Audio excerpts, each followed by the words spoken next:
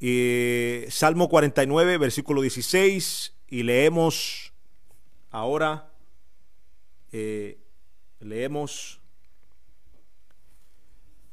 del 16 en adelante. Dice, no temas cuando se enriquece alguno, cuando aumenta la gloria de su casa, porque cuando muera no llevará nada, ni descenderá tras él su gloria. Recuerde que estos son porciones de instrucción. La instrucción de Dios. La palabra ley que todo el mundo le huye. La palabra ley que todo el mundo cree que es algo negativo. Es instrucción. Cambia la palabra ley de Dios por la instrucción de Dios. Y estos son porciones de instrucción, porciones de sabiduría. Llámele como usted quiera llamarle como usted mejor lo asimile, pero estos son instrucciones. Ya empezamos con la primera instrucción. O sea, no temas. Primera instrucción.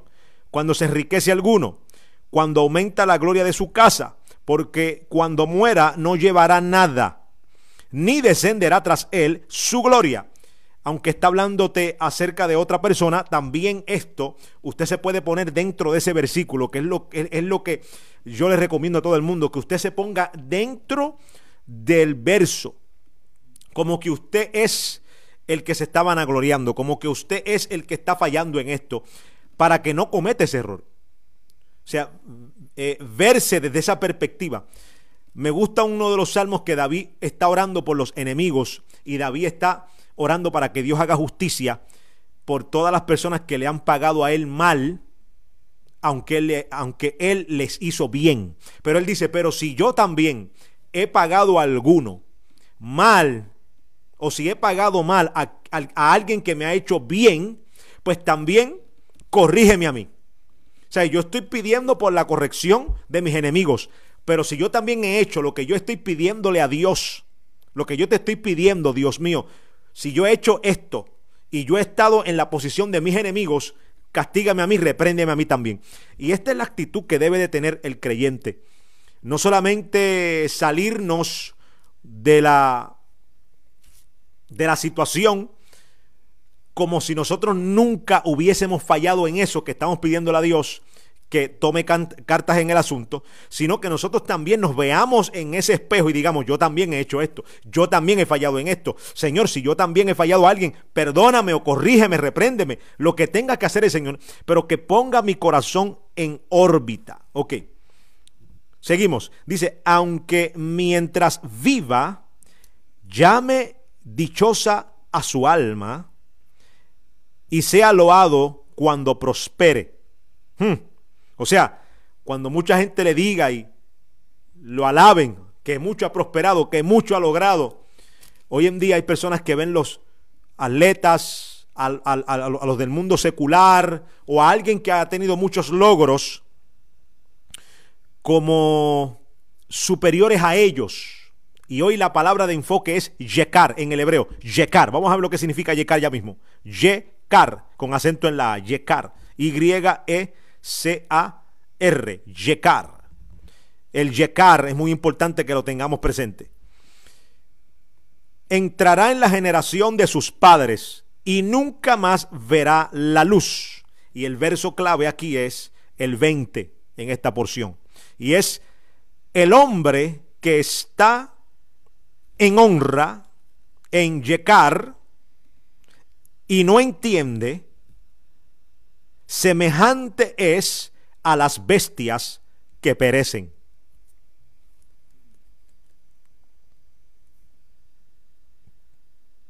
Repito, verso 20, capítulo 49, los que están llegando ahora. El hombre que está en honra, en Yekar, y no entiende, es semejante, o semejante es a las bestias que perecen. O sea, las bestias nada saben, no aprovechan. Yekar significa en el hebreo valor o peso. ¿Sabe cuando la Biblia dice que el Eterno pesa los espíritus, que Jehová, Yahweh, pesa los espíritus, es porque tú tienes un peso. El único que tiene la pesa para los espíritus se llama el Eterno, se llama Jehová. Él es el único que pesa los espíritus. Eh, o sea, cuando usted come y usted se alimenta, usted echa algunas libras físicas y hay una pesa. Pues también cuando usted hace las cosas bien y cuando usted se pone en órbita y cuando usted hace sendas derechas y cuando usted busca a Jehová y cuando usted se, se alinea a la instrucción del Eterno, ¿qué está pasando ahí?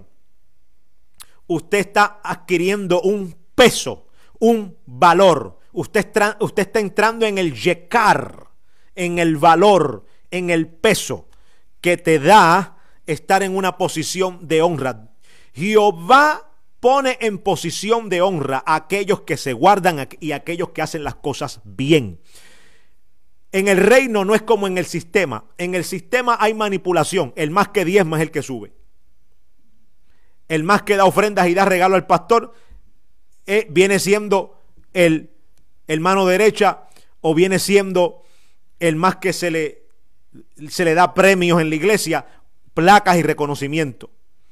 O sea, mientras que hay muchos hombres íntegros que rodean al pastor, el que está andando con el pastor es el más dinero que da y es el más que ofrenda. Y debido a eso, debido a eso, tenemos personas que estando en el yecar están deseando la bendición de aquel, de aquel que ha llegado manipulando las cosas en el sistema para posicionarse pero no tiene el peso y el valor que tú tienes delante de Dios. Eso es muy importante porque aquí te está diciendo el hombre, la persona. Cuando la palabra hombre es mencionada, también se refiere a la mujer. La persona que ignora el valor y el peso que tiene delante del Señor es como la bestia. Y lo menos que usted quiere ser es como una bestia que no tiene entendimiento. No es que yo le estoy diciendo a usted bestia, es lo que dice la Biblia. La Biblia dice que somos bestias cuando no entendemos en la posición que estamos el peso que el Espíritu nos ha dado como un cristiano que ha llegado a ser de calidad. Eres un cristiano de calidad porque te sometes, haces las cosas bien, te esfuerzas, que fue el gran dilema con Caín. Caín, Dios le habló y le dijo, ¿acaso le dijo, ¿por qué ha decaído tu semblante? ¿Acaso si no hicieres el bien, no serás elevado?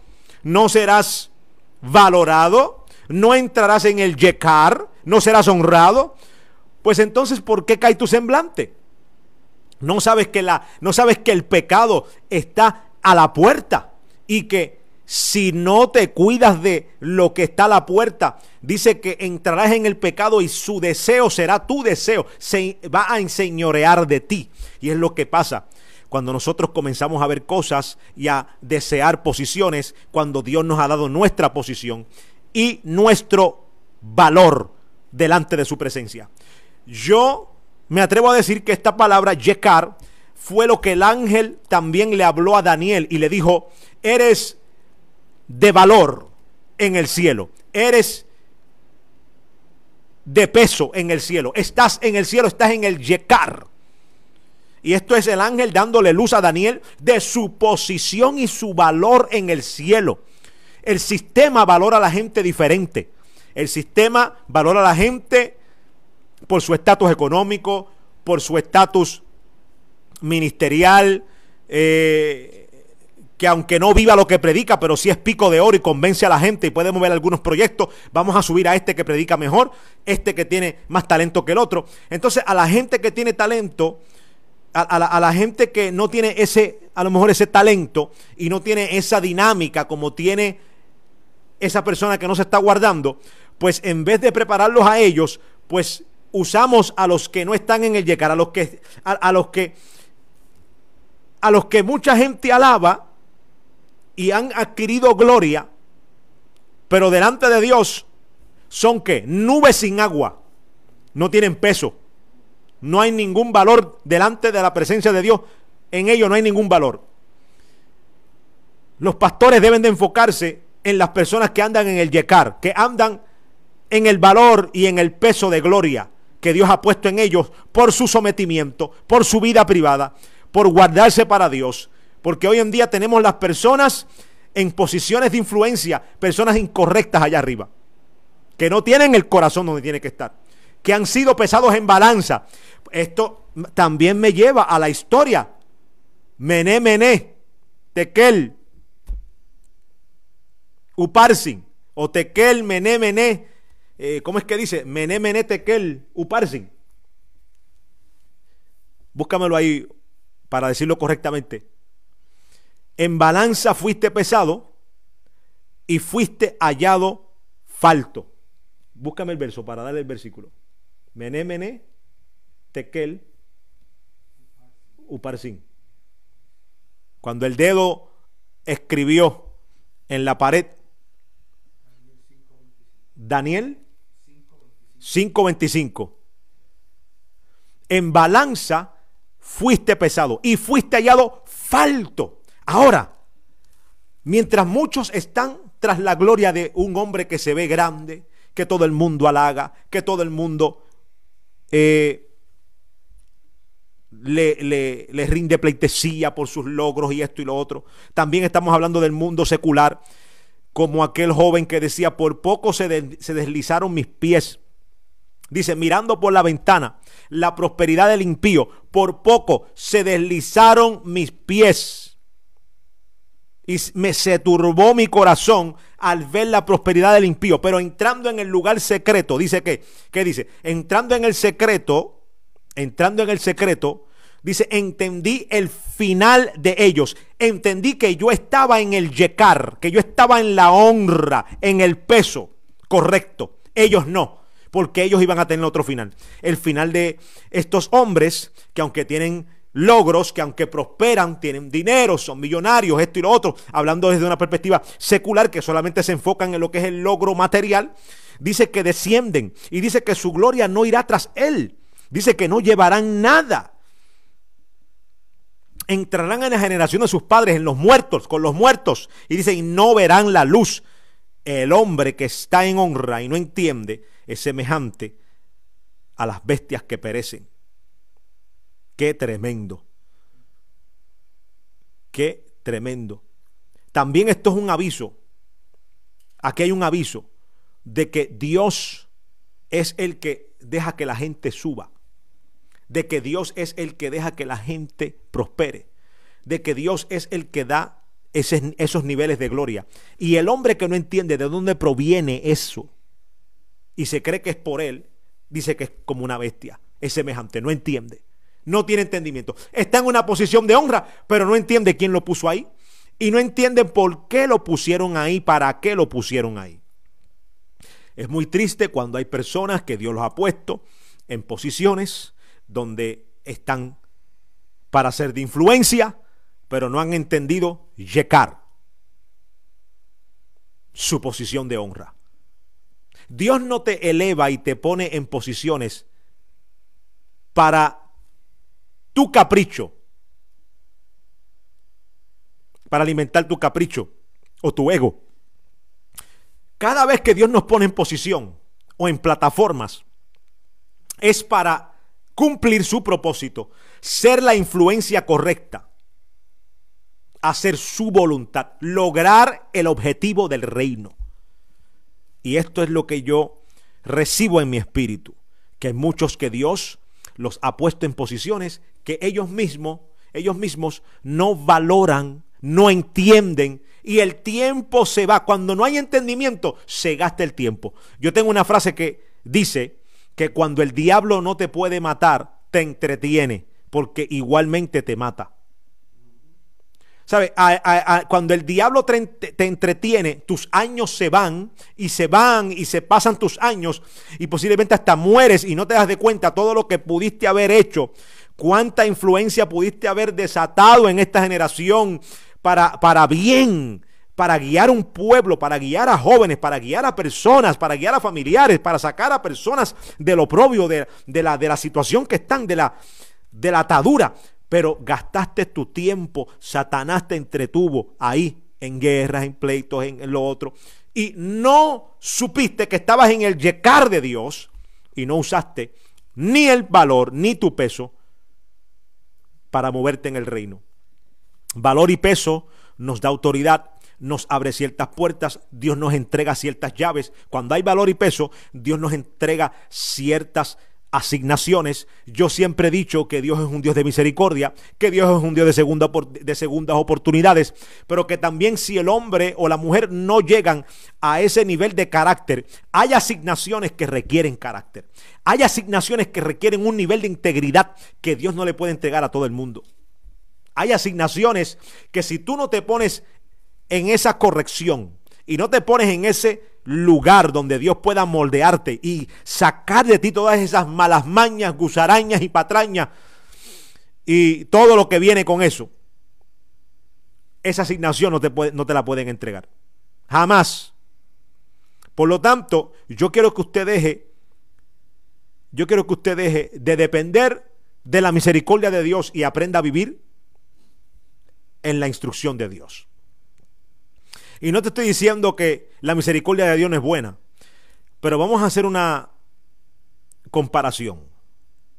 Tú puedes, como dicen en Puerto Rico, vivir del welfare, del gobierno, o puedes buscar ideas y trabajar, seguir las leyes y prosperar y echar hacia adelante.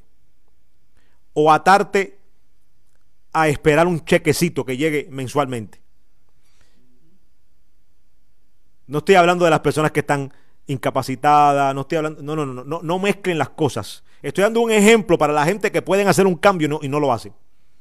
Es lo mismo. Si usted es de los que depende de la misericordia, no, yo me dependo de la misericordia, de la misericordia, de misericordia, misericordia, misericordia, misericordia, misericordia, misericordia. Usted nunca va a vivir para Dios alineándose a su propósito y enderezando sus pasos. Entonces, usted se está perdiendo de tantos beneficios de aquellos que sí se guardan, de aquellos que dependen de la misericordia de Dios, pero también andan en obediencia. Y esa obediencia es recompensada por Dios. Yo espero que usted me entienda. Yo sé que es un poquito complejo a veces las, las curvas que yo lanzo aquí. Pero entienda lo que estoy diciendo. No estoy diciendo que no se depende de la misericordia, porque la misericordia de Dios la vamos a necesitar siempre. No todo el tiempo vamos a estar a 100.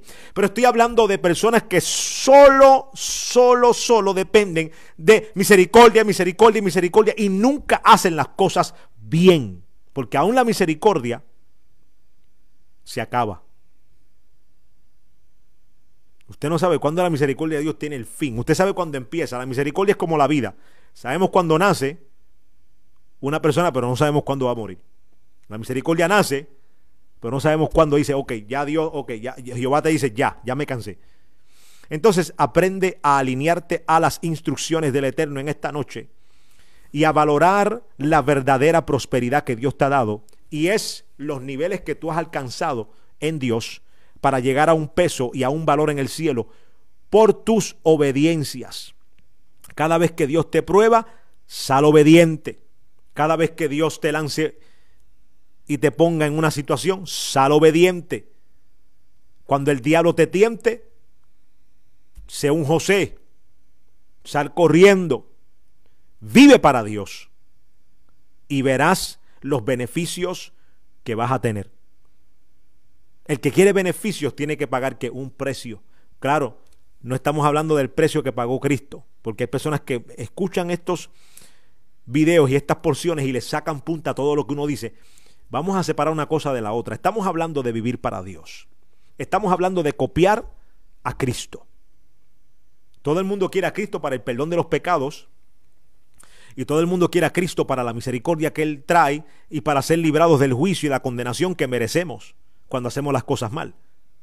Y puede ser que en un tiempo tú hiciste algo malo y Dios no te pagó conforme a tus hechos, sino que tuvo misericordia de ti. Eso no significa que lo sigas haciendo, porque tarde o temprano, cuando pase la factura, el pecado la paga. Quiere decir que el que peca trabaja también, porque recibe paga. Ahora, estoy hablando de que, ¿por qué no copiamos la vida y el estilo de Cristo? La vida de Cristo. Hay beneficios encerrados en vivir como Él vivió. Él no solamente vino aquí a morir por nosotros, que es el enfoque de mucha gente. Oh, Cristo murió por mí. Sí, pero Cristo también te dio un ejemplo. Yeshua fue un ejemplo. Yeshua fue un diseño a seguir para vivir. Él hizo las cosas de una cierta forma, esperando que nosotros también copiemos no solamente dependas de su sacrificio, sino cópialo en su estilo de vida, cópialo en sus enseñanzas, copia las enseñanzas de sus parábolas, porque lo que Cristo dijo a veces fue más importante que los milagros que hizo. La generación que depende de milagro en milagro nunca aprende a cuidarse, nunca aprende a comer, nunca aprende a hacer ejercicio.